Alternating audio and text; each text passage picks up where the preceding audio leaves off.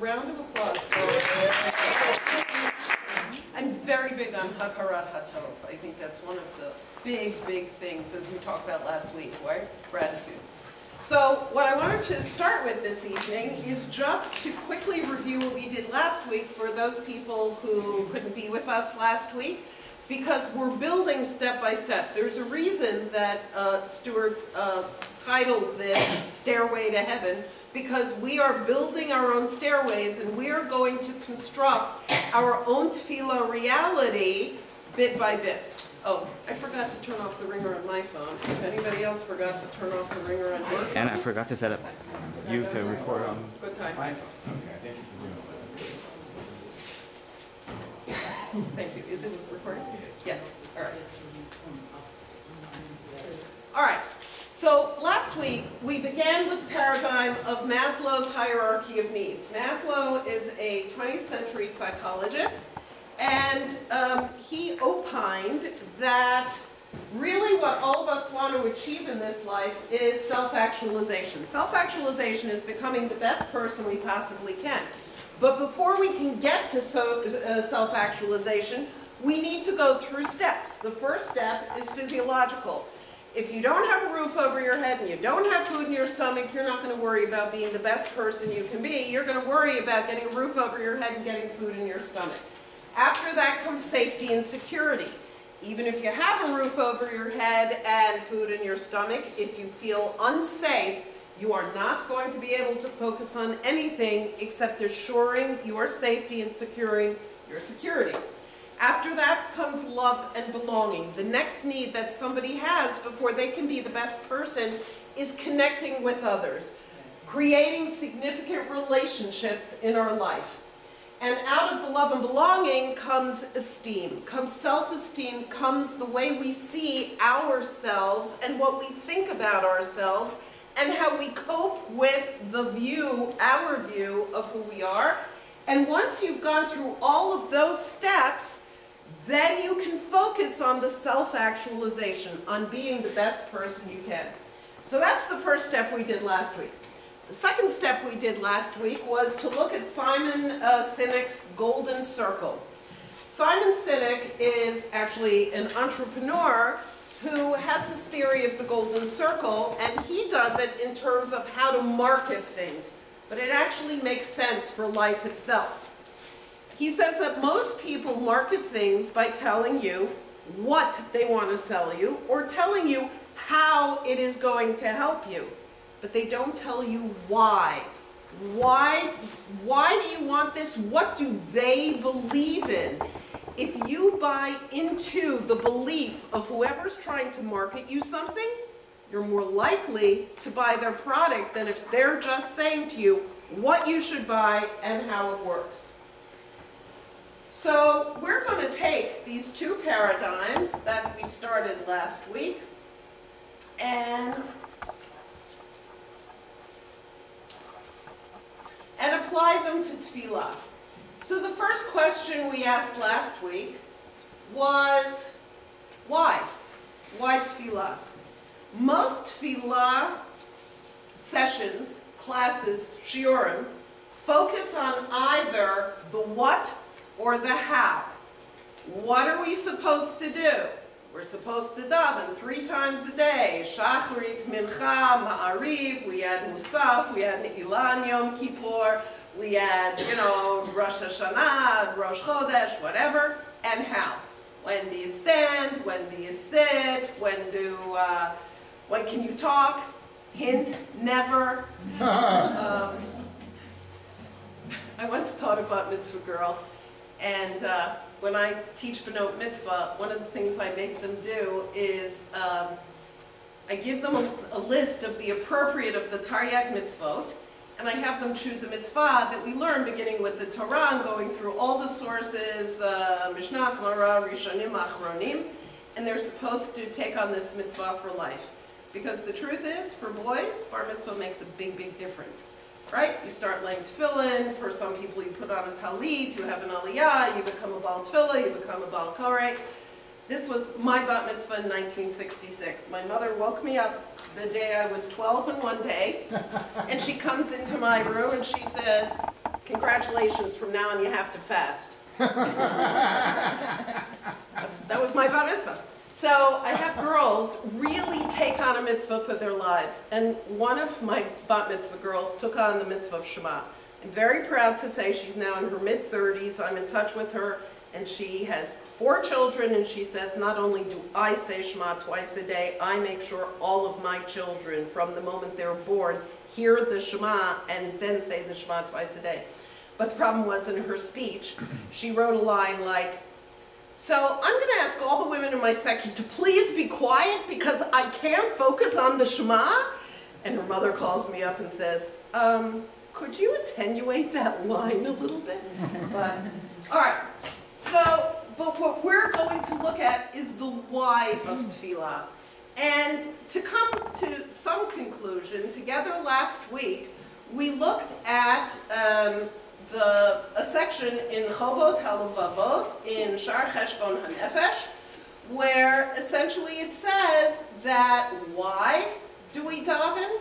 Because our soul longs for Hashem, we submit before Him, we elevate the, its creator, meaning the soul's creator, we praise and we thank Hashem, and finally, we cast all of our soul's needs on Hashem.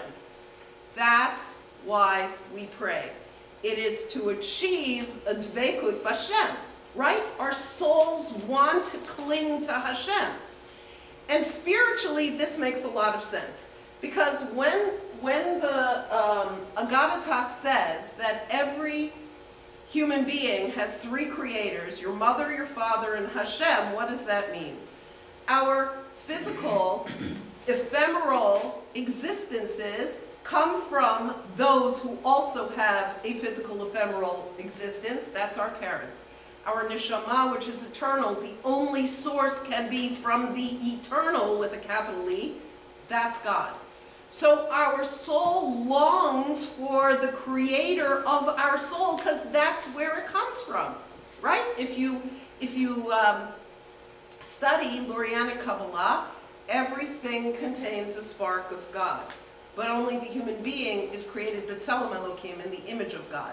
And so we long to cling to God. That's this dveikut that we're searching for. But we would be fooling ourselves if we thought that we can just jump into dveikut. The same way as you can't just jump into self-actualization where, you know, I, I don't know where my next meal is coming from, I don't really have a job, I'm going to self-actualize. It doesn't work that way. Dveikut Bashem doesn't work that way either. So last week we started talking about this idea of dispositions. Now what I mean by dispositions are the steps that we need to take to work towards this Dveikut Bashem. And the reason it's called disposition is, is because that is what we will be disposed towards, right? The same thing as resonating towards, what we will be disposed towards to reach this Dveikut Bashem. So, one of the things that I said to Stuart when we were talking about putting this together is that I prepared the first session, but based on what happened at the first session, I was going to create the second session, and based on what happens tonight, we'll create the third session. This is an experiment. We're going through this together, and this has been totally eye-opening for me, and hopefully it will be for you also. So when I was ruminating about last week's session, and we were talking about gratitude and nature, and there was this fabulous video about gratitude and happiness and all of that. Um, and if you weren't here last week, you can um, give Stuart your email address and he will email you a copy of last week's handout where you could click on the links. I sat thinking about it, and I realized that it was way too facile to say, well, here's a list of dispositions. We're not cars. What do I mean by that? Your car's fan belt breaks, you take it into the garage, they go, well, what model car do you have? Well, I have a 2001 Sable Mercury, and they go, oh, you need X fan belt. Put the fan belt in, the fan belt's fixed. Human beings aren't like that. We can't choose a model fan belt. So that if we're talking about dispositions, depending on who you are, you will approach this idea of what your steps are to make it up to Dveikut Hashem very, very differently. So I came up in my own mind with three different paradigms of types of dispositions that people might say, this is what I need to, to achieve Dveikut Hashem. So what I want to do now is on your handouts you all have a triangle. Last time I put in the lines. This time I didn't put in lines. Because upon reflection, if I put in lines, I predetermine how many dispositions, how many steps there are. I can't determine that for you. I can only determine that for me. The only one that we agree upon is that the pinnacle of the triangle is the dveikut. So there's only one line there. And inside that small triangle is the dveikut bashem. How do you get there? So I want to just quickly show you three different paradigms I came up with. Open it to the audience to see, are there other ways of thinking about this? And then I want everyone to take a few minutes, figure out if one of these paradigms fits you as a human being, and if so, what order of, of the hierarchy do you need? So if you turn to the page after the one, I have this thing, I always forget the number of pages on handouts. So, you know, I guess I boycott numbers or something. I hate that. So if you turn to the next page, there's paradigm one, and we're only going to give an overview of the paradigms now. Afterwards, we're going to explore them in a little more depth. Paradigm one is for the practical thinker. How do I get to Dveikut Bashem?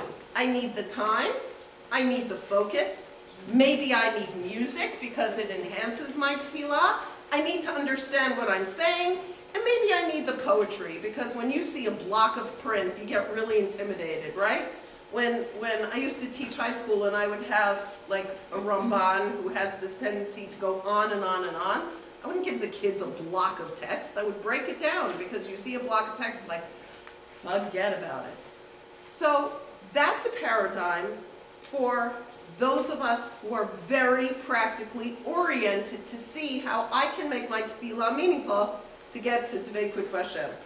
There's a second paradigm at the bottom of the next page, which is the paradigm for, shall I say, the globalists. Human beings exist on multiple planes simultaneously. It's just the reality of who we are as human beings.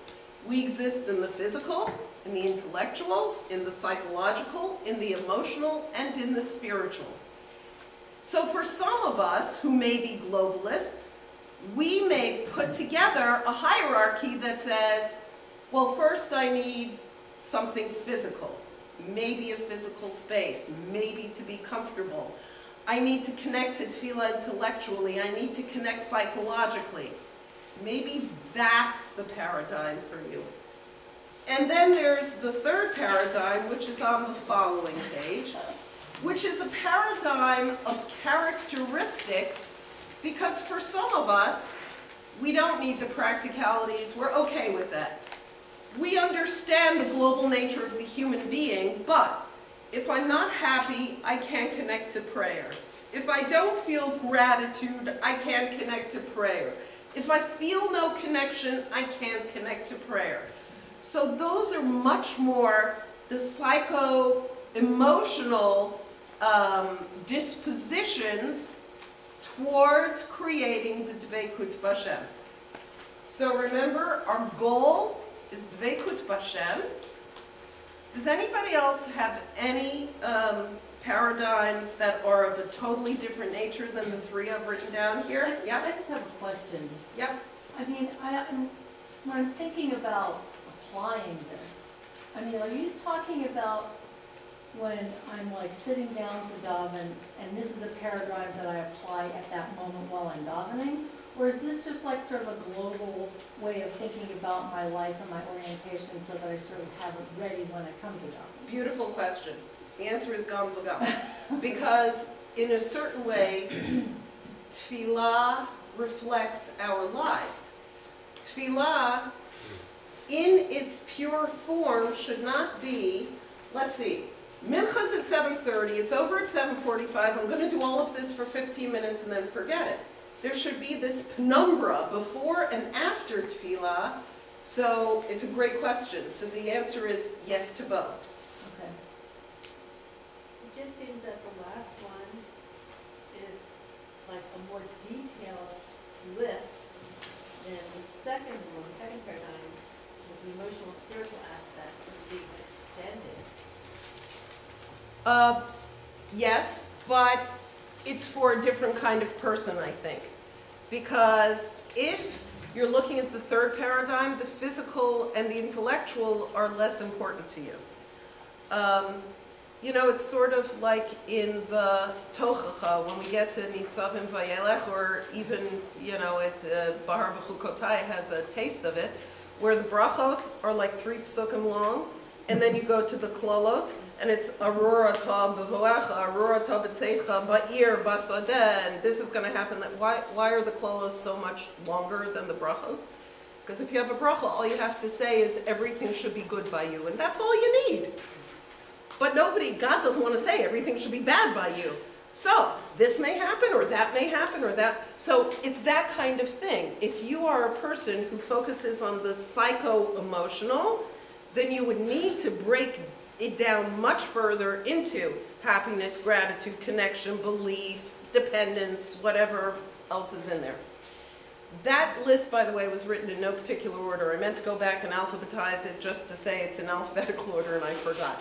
So it just came up as it came up. I think the last list is, the paradigm three is particularly appropriate for someone who doesn't know Hebrew, but is davening in Hebrew, because they might actually be able to have very fulfilling davening experience without understanding a word of what they're saying. Absolutely. Or they could always use the English side. All right, so let's take a couple of, oh, one more? Yeah? So, in any of these paradigms, can you incorporate factors from each one into uh, four paradigm? Absolutely. Absolutely. We're all different. Maybe someone says, I need to be physically comfortable, but then I can focus on happiness and gratitude. It's an incredibly personal um, structure. We're all walking our own staircases, and no two people ever in this world walk the same staircase to achieve the dveikut that we're looking for. That's one of the main, the, the, the amazing things about a Kadosh Baruch Hu. Kadosh Baruch Hu has time and energy for each human being, even though each human being is a totally different relationship that he has with any other human being. Okay, so we're now at 22 after. Let's take three to five minutes, do some soul searching, some thinking, some writing, because if you're like me, if it's not written down, the next moment it's out of your head. And then we'll go on from there. Um, because they have halachic implications, and I will do nothing with halachic implications at this. That's keva versus kavana, and Sibor versus biyachid. There's a big discussion about saying the words that other people wrote, whether it's Tehillim or the unknown Machaber, whose name has been lost in antiquity, versus talking to Hashem in my own words. But as I said, Keva versus Kavanah has distinct halachic implications, as does davening b'tzibur in a minyan versus davening b'yechidut alone. Now, for some people, they find that they can only really uh, get into the zone, to use a sports metaphor, if they're davening b'yechidut. Um, for, you know, some of us in the room, we say Baruch Shasani Kirtzono in the morning and it doesn't matter. but for other of us, it does. And therefore, that's why I didn't put down B'tzibor versus B'yechidut, because it does have halachic implications, and there are very, very good reasons that it has halachic implications. So nobody's gonna ask you to share. I probably should have said that before, so that nobody would be like, oh my God, this is yours. This is your stairway to heaven. If anybody wants to share, call a kavod, but nobody is going to ask you. But what I want to do is look a little more deeply into the various uh, paradigms of, of steps that we've been talking about. So, let's look first at paradigm one, time. Time is a real problem. The modern world, we're always running somewhere. Hey, anybody remember when they said that email was gonna make our lives simpler? It didn't. Because in addition to everything else that we do now, we're constantly looking at our handheld to check our emails, to just answer that, and then uh, you're checking your faxes, you're downloading your attachments, you're checking the voicemail on your cell phone and your home phone and your office phone, and life is just faster and faster and faster. How do we get the time that we need, whether it means time to come to shul or just time to focus on tefillah? It is a really good question. I remember years ago, I've always been really busy. You know, holding down a job, two jobs, raising kids, whatever. And I remember when I had three little kids running around in a full-time job, my mother calls me one day and she says, Sharon, I want you to sign up for tennis lessons. I said, what? I don't want to play tennis. She goes, no, I really want you to sign up for tennis lessons. I said, why? She said, because then you will have an hour a week where you know you have to have a tennis lesson. You're not going to take those tennis lessons, so you will just have found an hour in the week for yourself. it's actually brilliant. I mean, I didn't sign up for the tennis lessons, but we make time for our friends, we make time for our spouses, we make time for our kids, we make time for our boss, we make time, this will be a great segue, into volunteering for the shul, right? Coming to shul elections. We make time for all of that. A little self-care. We need to carve out time for ourselves. We all have our electronic calendars. So how crazy would it be if I log onto my calendar and I put in an hour a week that says my thinking time. And then it's there. And then it pops up on your phone and it tells you that in 15 minutes is your time for you. Now, when I say self-care, you know, a lot of people do self-care, go have a mani-pedi or whatever. That's good self-care too, but that's not what I'm talking about. I'm talking about tefillah self-care, dveikut self-care. Plug it into your calendar. Sign up for your figurative tennis lessons and then cancel them. Focus. Um, some people are visual.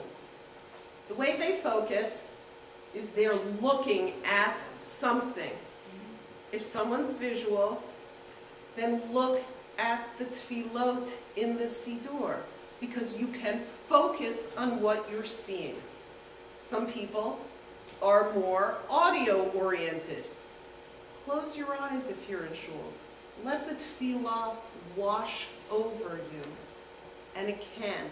But you need to focus on what you're listening to. Now, so much of the stimuli goes in, in through our eyes that if we really are oral in nature, it's much better to close your eyes because you're not going to get distracted by this one walking around and what's she wearing and, you know, who got that aliyah. Let the sound wash over you. Some people are kinesthetic. Now, there's this meme going around the, the web about the different shucklers. Has anybody seen that? It's hysterical. Um, I wasn't going to play it here because I thought it was a little offensive to some of the shucklers. But why do people shuckle? Because some people focus better when they're moving, especially if your eyes are closed. There's a really good physiological reason that people shuckle and that they shuckle the way they shuckle. So go search for the meme on the web. You'll probably get a, a good laugh out of it. But that's because they can focus because they are kinesthetic in, in nature. So we need to figure out who we are in order to create our own focus. Um, music. I mentioned this last week also. Um, until Thursday, we don't play music. It's middle of Sefira. Um, but the music makes a difference too. The music, if we are in shul, makes a difference. The music in our own heads makes a difference. If you're davening b'yechidut, there's no reason you shouldn't be davening out loud with the music. The music, music is a universal language. To me, what is the language of music? It's a language of emotion. You feel something when the tune changes, and that creates this dveikut also in and of itself. Understanding. People who speak Hebrew are very fortunate. You know, the school children growing up in Eretz Yisrael have it all over American school children. Am I right, Rini? Because they get it. When they say, Modeh ani lefanecha melech v'kayam, you don't have to start explaining to them, Modeh means thank you, and if you're a girl, it's Moda ani is me, and lefanecha before. They get it. Because we're in Galut, we don't really get it. You don't really get it? Look at the English side. Nothing wrong with that. And the truth is, because so much of our tefillah is from Tehillim or from really, really old sources, some of those words are pretty arcane. Nothing wrong. It's not cheating to look at the English side when you're focusing on what you're saying and say, what is it that I'm saying to Hashem here? We need to understand what it is we're saying. And the last one in this is poetry. Now this is the easiest to miss in tefillah. No tefillah is prose. It may look like prose because it's clumped together in paragraphs in the siddur, but it's not. So what I did was, um, the only Siddur I know that really does it anywhere near this is the Koren Sachs Siddur. This is my own, um, we created a, a Siddur in school for, for uh, our children, and this is how I set it up for them. Because again, children looking at a block of text, forget about it. But look at the poetry here. This is uh, the, the section between the end of, we were just talking about dedicating ourselves to shul time. Oh, President Shimoff, do you need us? I do, I need a quorum, you guys look like a quorum to me. Can Do you want to bring them us? everybody else We'll in have- here? Yeah, yeah, We'll so stop for a We'll minute. bring them up right for, over there. We'll have a two-minute election and then we'll re- continue. with it. Talk about Walter's stairway to heaven. Okay. Okay, we're So back. this is the section between um, the Shema and the Amidah. So the first thing we have is Hashem Elokechem Emet. But look at the poetry. There are 15 uh, words after that.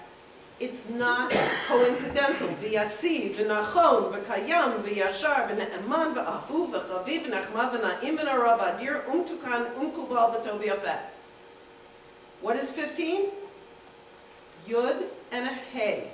15 is the name of God. We're describing the essence of God. And what is the first and overarching characteristic of God? It's the word that precedes those 15. Emet. And we keep repeating it. Hadavar hazeh le'olam va'ed. Emet Elokei olam malkeinu. Scroll down. Al harishonim v'al ha'achronim davar tov v'kayam le'olam va'ed. Emet be'emunah chok v'lo yavor. Scroll down. Amecha melech gibor lariv rivam. Rishon acharon. Over and over again, the poetry is saying, truth. God is truth. That's how we step into the Amidah. This is brilliant poetry. The other thing it does is it gives you a mantra. Anybody ever really not focus on, on what you're doing and you're sort of mumbling this stuff and you get to Emet and you stop and you go, which Emet was I on? Emet Adonhu or Emet Hu Rishon? It's a mantra, but it can trip you up. It forces you to focus. So, in these words of Emet, we have the poetry that God is truth preceding the 15 adjectives. We have a mantra that we keep repeating, and we have a reason that we must be focusing on what we're saying, or else, you know, you can get into this never-ending loop of uh, "Emes ato adon lamech hamelech, gibor lariv ribon emet- emet atahu lamech," and yeah, you could be here all day. You really need to focus on what you're doing. This is amazing stuff, Rini. What I wanted to say is also, some of that has a sort of music without having a musical tune to it. That is, it- there's a music to the words without having a mamash mangina to it Right. that also is describing the attributes or essence of cultural. Absolutely. That's the, the, the rhythm, the beat. Um, uh, why am I blanking on it? Kiviti Hashem. Yeah, and then you, you repeat it. I mean, uh, um, um, Hallel Hagadol, Ki L'olam Chasdo, right? Hodu Lashem Kitov Olam Chazdo. Hodu Holokim Ki L'olam Chasdo. Ki L'olam Chasdo. That's, yeah, the poetry is incredible. And if we can connect to the poetry, it should inspire us. That's the point of poetry versus prose, is the inspiring element. So that's paradigm one. Paradigm two, the globalists. It's at the bottom, it's right under the, the end of the section of Emet. The physical. Now, the physical may mean that we need to be settled. Or it may mean the environment makes a difference. Anybody ever, I don't know, diving on a mountaintop at sunset and all of a sudden you feel one with the world? That's the physical. It's because of the environment you've put yourself in. It's probably one of the reasons that the Shulchan Aruch has so many halachot about you're not allowed to daven in a place that's dirty, you're not allowed to daven in a place that has refuse in it, because the environment makes a difference. How we are physically feeling makes a difference. How we are um, in space makes a difference. There's a reason the Amidah is the Amidah, the standing prayer. There is a reason that we are bowing. There is a reason that we are getting down on our knees still on Rosh Hashanah and Yom Kippur, because the physical does make a difference. Um, the intellectual. Some people can't connect to the tefillah unless they cognitively understand. What is it saying? Where does it come from? Why is it in the Siddur? I mean, some of those things are hard to answer. Uh, one of my favorites is Yekum Purkan, that we're still davening for the Reshe Galuta, you know, for the, the head of the community in Bavel. It is what it is, but some people feel like unless they can connect to this intellectually, they're just not going to get it. Then comes the psychological. Now, the psychological means we need to be open to ideas, and the emotional means we need to be open to feelings. And the spiritual means we need to let go and just experience. You cannot be at one with the world when you are holding on to, to too much. You need to let go and just be in the experience. And if anybody has ever done that, you, you know what I mean. It's sort of like the kind of thing where, lo aleinu, if someone is sitting Shiva, you're not allowed to learn Torah because for people who love learning Torah, you lose yourself in the experience of learning Torah. That's when Limud Torah becomes a spiritual exercise and no longer an intellectual exercise. You forget about time, you forget where you are, you forget anybody who's around you. And at Shiva, of course, we always need to be in touch with our grief. That's, that's the point of, of Shiva. Uh, and so that's, that's why the Isur, but it's a good example of losing ourselves. Okay. So we are going to look at an example of this paradigm, which I think is just a really interesting thing. So, what is empathy, and why is it very different than sympathy? Empathy fuels connection, sympathy drives disconnection.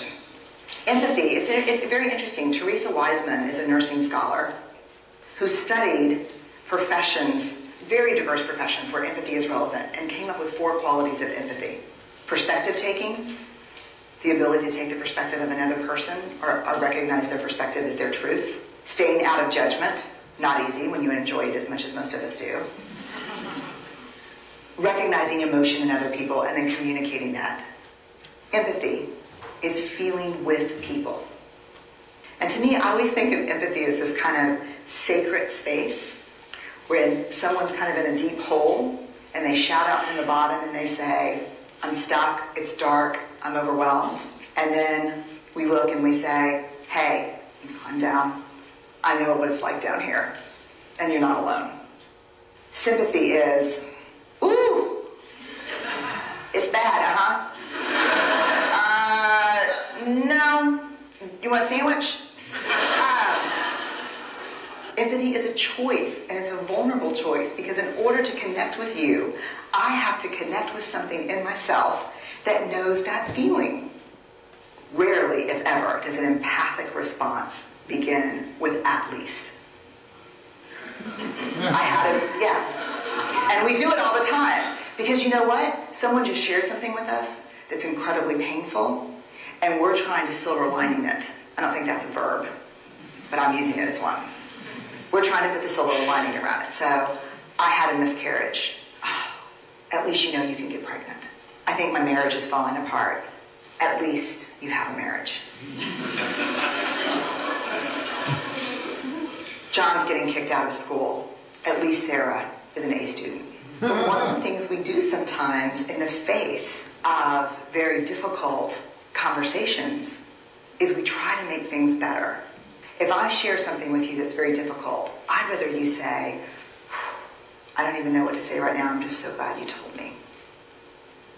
Because the truth is, rarely can a response make something better. What makes something better is connection.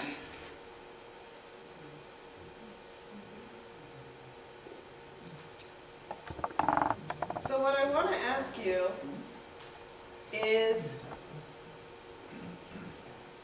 which of the dispositions in paradigm two, physical, intellectual, psychological, emotional, spiritual, was that video addressing? Spiritual, It was a combination.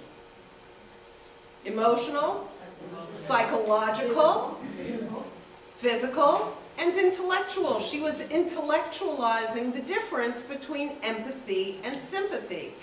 Now, there's a reason that I'm going down this road, because life is messy. I've created these nice little steps as if they're all self-contained. And what I want to acknowledge is they're not all self-contained. They're all messed up with each other. And what we need to do to get this to dvekut is to see how we can separate out the strands. So, what time is it? 10 of. Sharon, Yep. why do we have to separate them? Why can't we use them as building blocks on top of each other? Really good question. Some of us can. Some of us can deal with messes, and life is messy. So, once again, it's a very personal thing. Some people handle lots of stuff at the same time and just keep moving forward, and some people say, too much. I've got to retreat. I can't do this. So it's really a, a very, very personal, personal thing. I was going to say something about life being messy. Um, Oh, I remember what I was going to say. Um, I was at a conference a few years ago, and this woman, it was for um, uh, educational administrators. And this woman was talking about, and most of us are, are women, about how we're all constantly juggling, right? We all know the paradigm of we're juggling balls and we're always afraid we're going to drop one. And invariably, we're all going to drop one. But this is what I loved about what she said. She said, doesn't matter if you drop one, just make sure the one you drop is rubber so it bounces back to you and not crystal so that it shatters. Brilliant, right? We're always worried about dropping the ball. Don't worry about dropping the ball, just make sure what you drop is a rubber one. For some people, this allegory is great and others go, I, I can't juggle more than two balls. But you're right, for some people it doesn't make a difference. So for those of you who looked at paradigm three,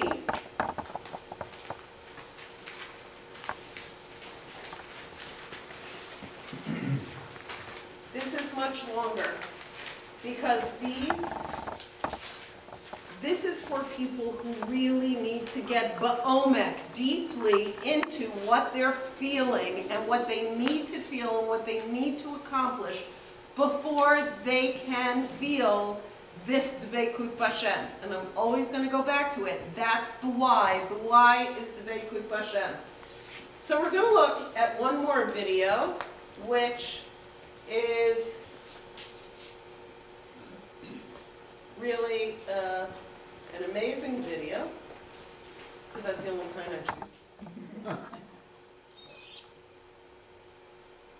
And I'm going to ask you afterwards why you think I chose this video to show, given what the framework of this session is all about.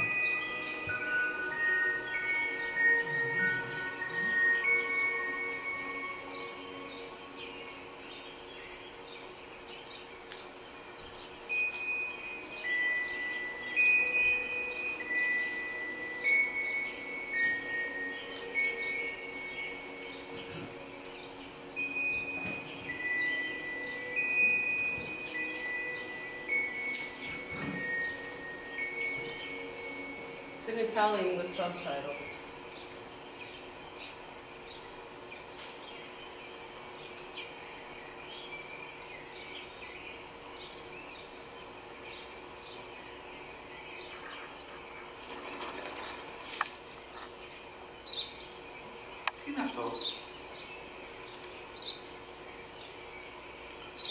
That's. Can you see the subtitles in the back? No. Says, what is that? A sparrow. Τι είναι αυτό. What is that? Μόλις τώρα στο πατέρα I σπουργίτι. just told you, father, it's a sparrow.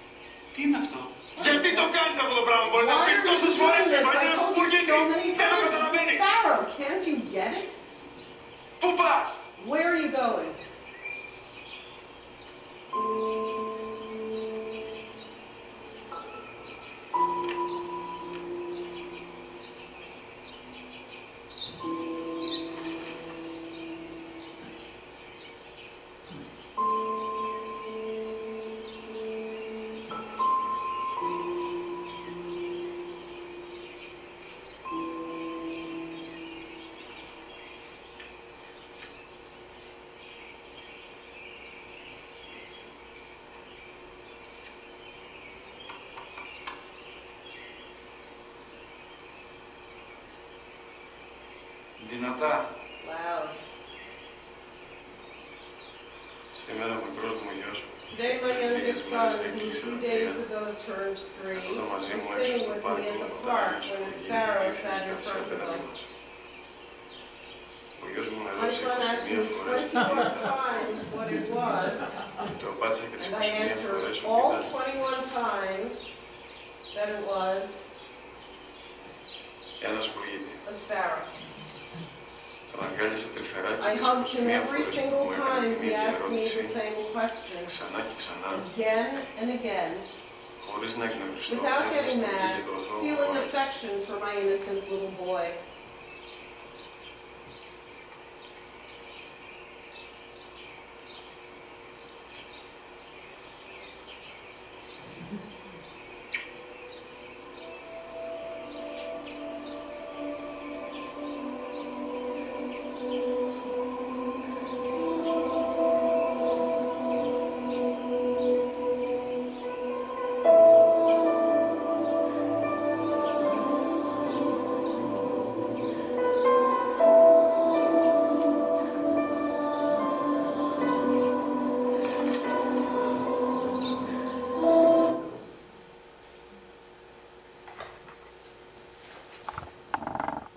Video, given the third um, paradigm?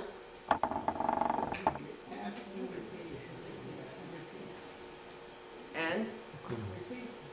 And we repeat, and God, with affection, because He loves us, every time answers the same questions over and over again. The connection. The connection. The dveikut. That's what dveikut bashem is all about. Doesn't matter how many times we ask, God will answer us and put his arm around us every single time. So the question, the work that we're going to do together next time is to take this hierarchy that each one of us has created personally and see where in the Siddur we can connect emotionally, spiritually, physically, and do the work together to see how each of us can climb our own stairway to the dvekut that we're all looking for. Thank you.